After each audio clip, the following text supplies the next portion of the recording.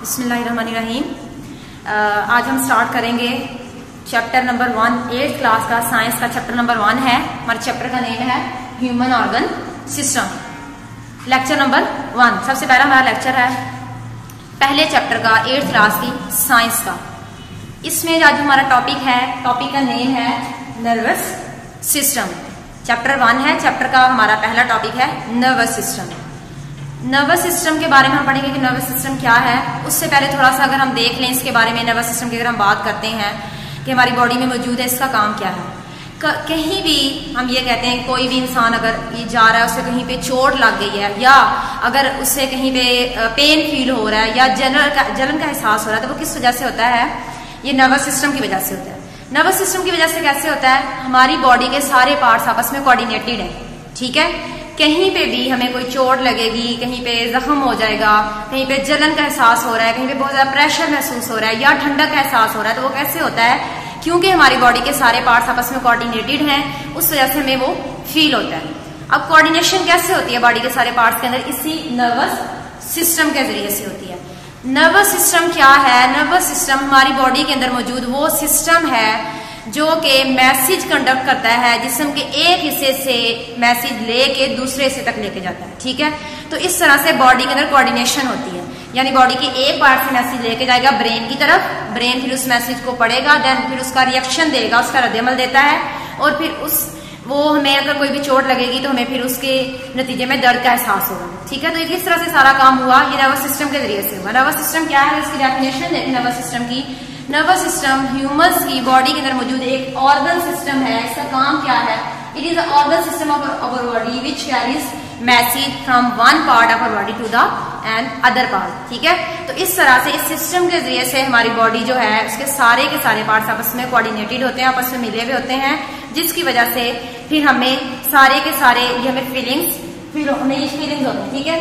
अब nervous system जो है अगर इसकी टाइप्स अगर देते हैं, हम इसकी, या डिवीज़न की बात करते हैं, कितनी है? यहाँ पे दो इसकी डिवीज़न है।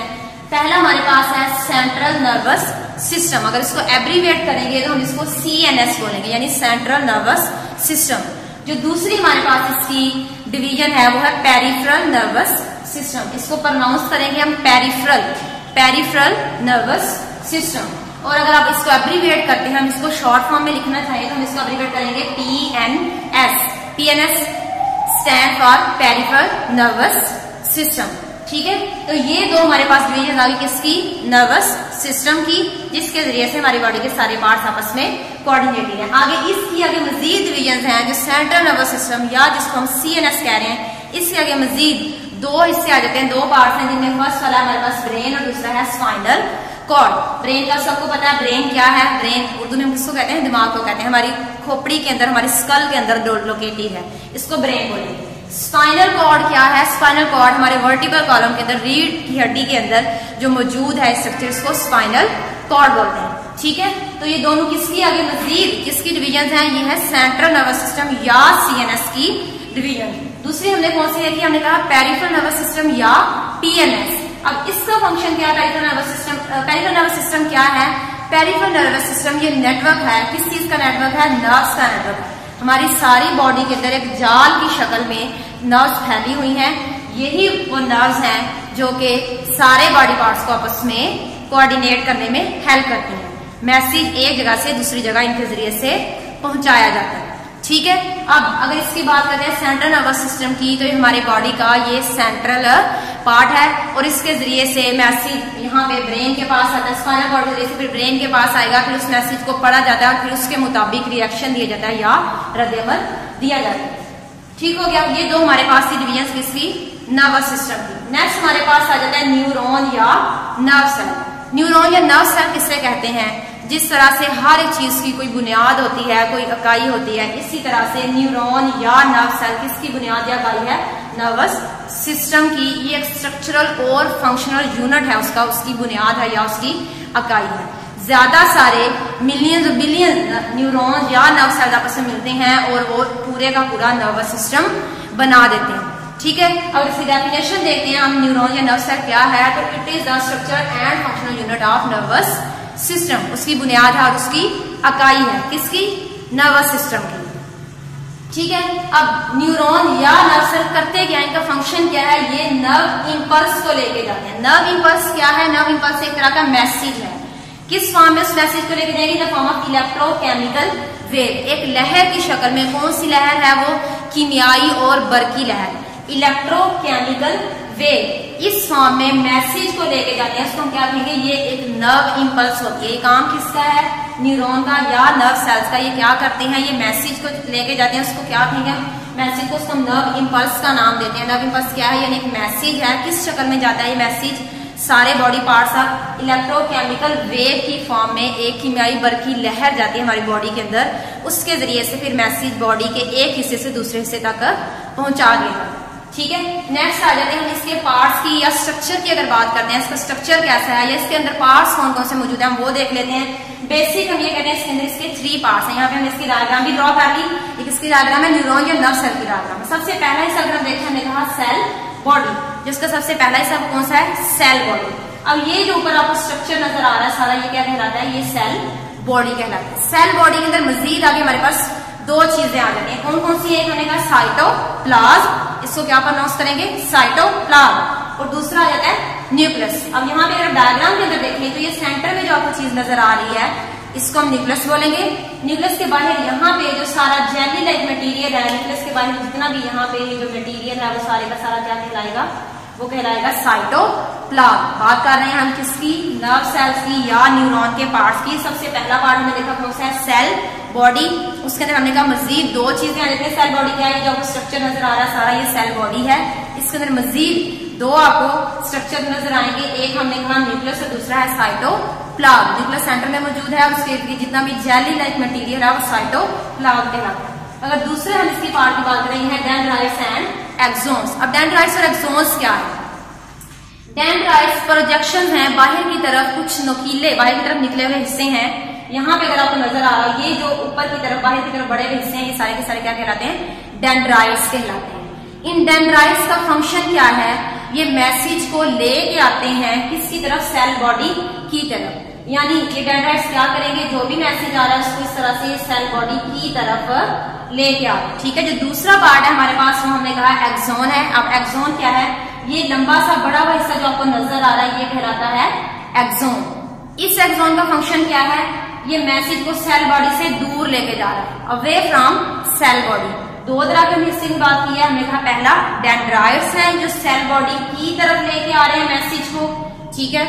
दूसरा, हमने कहा जोन है जो बड़ा हुआ हिस्सा है, ये क्या करता है? सेल बॉडी से मैसेज को दूर लेके जाता है। और उसके बाद लास्ट है हमारे पास टर्मिनल एंड इसका आखिरी जो हिस्सा है, किसके आखिरी हिस्सा? ये न्यूरॉन का या नर्व का जो आखिरी हिस्सा उसको कहते हैं टर्मिनल एंड टर्मिनल के बाद फिर इसी तरह का एक और स्ट्रक्चर होगा। उसके बाद नेक्स्ट फिर होगा। तो इस तरह से सारे के सारे जो नर्व सेल्स सेल न्यूरॉन्स होते हैं, वो आपस में इंटरकनेक्टेड होते हैं। सारी बॉडी के अंदर ये एक जाल की शक्ल में फैले हुए हैं, जिसके ज़रिए से मैसेज हमारी बॉडी के डिफरेंट पार्ट्स को पहुँचाया जाता है। तो इस तरह से कोऑर्डिनेशन होती है हमारी सारी बॉडी के अंदर। ठीक है? तो ये हमारे पास से पार्ट से या स्ट्रक्चर था किसका? हमने नर्व सेल न्यूरॉन्स की बात करी। नर्व सेल न्यूरॉन्स क्या है? जो कि फंक्शनल और स्ट्रक्चरल फंक्शनल यूनिट है, बुनियाद है भैया किसकी नर्वस सिस्टम की। ठीक है? उसके बाद नेक्स्ट हम हमारे पास आ जाती है इसकी टाइप्स टाइप्स किसकी है? न्यूरॉन्स की या नर्व सेल्स की। बेसिक थ्री टाइप्स हैं जो कि बुक के अंदर मेंशन है। सबसे पहली जो हमारे पास इसकी टाइप है, वो है सेंसरी न्यूरॉन दूसरी जो टाइप है, उनको, उसको हम बोलेंगे मोटर न्यूरॉन्स और जो थर्ड वन है, वो है इंटर न्यूरॉन्स जो सबसे पहले वाली है, जिसको हमने कहा सेंसरी न्यूरॉन उसके नेम से पता चल रहा है सेंसरी है, यानी सेंस ऑर्गन से रिलेटेड है, ठीक है? सेंसरी न्यूरॉन्स है। अब इसका क्या काम है? इसमें मैसेज लेके जाना है। कहाँ से मैसेज लेके जाएगी? सेंस ऑर्गन से। कोई भी हो सकते हैं आईज है हेयर्स है नोज़ है स्किन है, ठीक है? कहीं से भी, यानी जो भी हमारी बॉडी के अंदर सेंस ऑर्गन मौजूद है, वहाँ से मैसेज लेके जाएँगे। कौन मैसेज लेके जा रहा है? सेंसरी न्यूरॉन्स सेंस ऑर्गन से मैसेज लेंगे, उसको कहाँ तक पहुँचा देंगे? सेंट्रल नर्वस सिस्टम तक। सेंट्रल नर्वस सिस्टम के आगे पीछे पढ़ के आए जो कि मजीद ब्रेन और स्पाइनल कॉर्ड पर मुश्तमिल है। ठीक है? ये मैसेज लेते हैं हमारे डिफरेंट सेंस ऑर्गन से और उसको सेंट्रल नर्वस सिस्टम तक पहुँचा देते हैं। ये था फ़ंक्शन किसका? सेंसरी न्यूरॉन्स का। जो दूसरी टाइप हमारे पास वो है मोटर न्यूरॉन्स अब मैसेज पहुँच गया सेंट्रल नर्वस सिस्टम तक। अब ब्रेन ने उसको पढ़ा, अब उसके मुताबिक हमने रद्दमल देना है कि क्या जवाब होना चाहिए, ठीक है?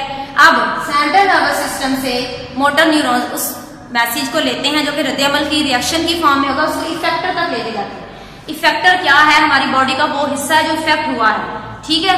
जिसके ऊपर यानी बॉडी का वो हिस्सा इफेक्टर यहाँ पे उसने मसल या ग्लैंड की आपको एग्जांपल दी है कि इनमें से कोई हो सकता है, जो इफ़ेक्ट हुआ है, जिसके ऊपर असर हुआ है। ठीक है? तो वो इफेक्टर कहलाएगा। तो मोटर न्यूरॉन ने क्या किया? जो भी ब्रेन ने उसको मैसेज दिया है सेंट्रल नर्वस सिस्टम से जो भी उसको मैसेज मिला है, उसको उसने लिया है और वो इफेक्टर तक उसको पहुँचा देगा। तो ये था मोटर न्यूरॉन्स का फ़ंक्शन तीसरे हमारे पास आ जाते हैं इंटर न्यूरॉन्स अब इंटर न्यूरॉन्स ब्रेन और स्पाइनल कॉर्ड के अंदर मौजूद होते हैं। ये बेसिकली वहीं पे लोकेटेड होते हैं। इनका फ़ंक्शन क्या है? इनका फ़ंक्शन ये है कि इन दोनों के अंदर, ये पहली दोनों टाइप्स हमने पढ़ी है, यानी सेंसरी न्यूरॉन है, जो मोटर न्यूरॉन है, इन दोनों के दरमियान ये एक लिंक क्रिएट करता है, इन दोनों के दरमियान ताल्लुक बनाता है। ठीक है? यानी जो भी मैसेज सेंसरी न्यूरॉन से सेंट्रल नर्वस सिस्टम तक आया है, फिर वहाँ पे कौन सी चीज़ मौजूद है? वहाँ पे इंटर न्यूरॉन्स मौजूद है। उनके ज़रिए से वो सारा प्रोसीड हुआ है मैसेज और फिर वहाँ से इंटर न्यूरॉन से किसके पास चला गया? मोटर न्यूरॉन के पास। मोटर न्यूरॉन ने उसको इफेक्टर तक भेज दिया। तो इस तरह से इनके दरमियान होती है कोऑर्डिनेशन ठीक है? तो ये तीन हमारे पास टाइप्स है, किसकी? न्यूरॉन्स की या नर्व सेल्स की। उसके बाद अगर हम स्पीड की बात करें नर्व इम्पल्स की स्पीड की नर्व इम्पल्स क्या है? अभी हम पीछे पढ़ के आए हैं। हमने कहा नर्व इम्पल्स एक तरह का मैसेज है, जो कि इलेक्ट्रोकेमिकल वेव की फॉर्म में आपकी बॉडी के अंदर कंडक्ट किया जाता है। अब इसके स्पीड की बात करें, इसकी स्पीड कितनी होती है? तो हमें यहाँ पे दो एक्सट्रीम लिख लिया मैक्सिमम ज़्यादा से ज़्यादा कितनी होगी? मिनिमम कम से कम कितनी होनी चाहिए? तो मैक्सिमम ज़्यादा से ज़्यादा ये है 150 मीटर पर सेकेंड एक सेकंड के अंदर ये 150 मीटर का फासला तय करती है। मैक्सिमम ज़्यादा से ज़्यादा जो होगी, अगर मिनिमम की बात करें, कम से कम इसकी स्पीड कितनी होती है तो ये एक सेकंड के अंदर 0.2 मीटर का ये फासला तय करती है। ये हो गई इसकी स्पीड यानी मैक्सिमम इसकी इतनी स्पीड है और मिनिमम ये इतनी स्पीड है। नर्व इम्पल्स की बात करें। तो इस तरह ये जो हमारा सारा टॉपिक था, वो था नर्वस सिस्टम के बारे में, जिसके बारे में आपने सारा हमने पढ़ लिया उसकी डेफिनेशन पढ़ ली, हमने उसकी मजीद डिविजन देखी है देन हमने उसकी फंक्शनल यूनिट देख लिया, उसकी आपने स्ट्रक्चर देख लिया, कैसा है, और लास्ट हमने बात किया उसकी टाइप्स तो यहाँ तक हमारा ये लेक्चर वन कंप्लीट हुआ. नेक्स्ट हम लेक्चर टू स्टार्ट करेंगे आगे.